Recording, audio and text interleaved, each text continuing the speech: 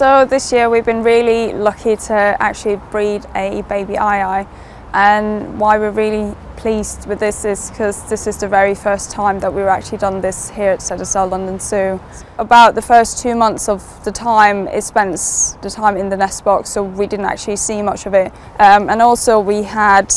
uh, several different uh, nest boxes in the enclosure so she could move the baby around because that's normally what they would do in the wild as well so we give her that opportunity. We would start to see the baby sticking its head out the box and then actually coming outside uh, the box and at this point uh, today it's really confident in climbing around in the enclosure, um, leaping around which is really good. So they have massive ears which to, to locate any sounds they make uh, when they tap away with the middle digits because it's elongated. Um, so that can um, indicate where insects are in the in the trees and in the di different types of woods they are, um, are looking for